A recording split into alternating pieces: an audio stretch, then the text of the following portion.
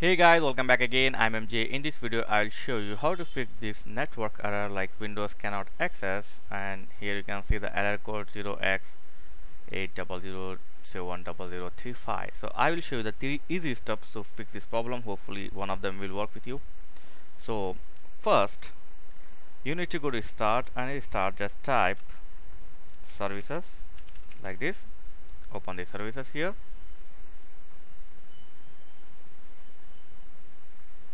okay come on. Yeah it's open now. Here you need to find TCP you can directly type TCP like if you type T in keyboard it will go to direct T here. So find TCP slash IP NetBIOS and double click on this. Now start type is manual start it automatic. So start it automatic and then apply and okay. So the first step you have to do. And the second step is you need to change your network setting. So here just go to your network property then change your adapter setting select your ethernet or wi-fi connection here then go to property. Okay here select tcp slash ipv4 internet protocol version 4 like this. Click on property and click on advanced here you will see one tab WINS. Click on WINS and then check on enable net BIOS over TCP slash IP so your second method check on this then okay okay and okay. That's it. Now try to access your network. If it's still not fixed uh, go with the third option. These are registry edit so here go to start and type regedit registry edit and right click here and run as administrator.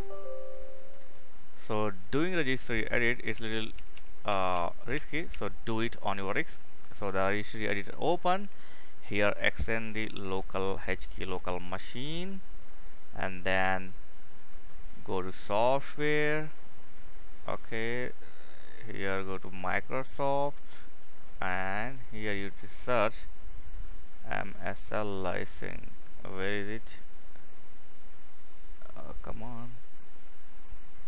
Okay. It's MSL okay? Just give me a second please. Sorry for this. Where is it man it's a little hard to find the things in a registered area. Okay. Yeah here we got MSL MS licensing. So you need to find it. MS licensing and extend this. Here you need to delete do things like hardware ID and store. Just right click and delete do the same to store right click and delete.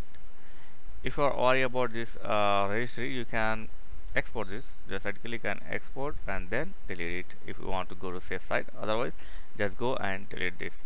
So hopefully this will fix the problem. And thanks for watching. See you next video. Please like share and subscribe. Thank you very much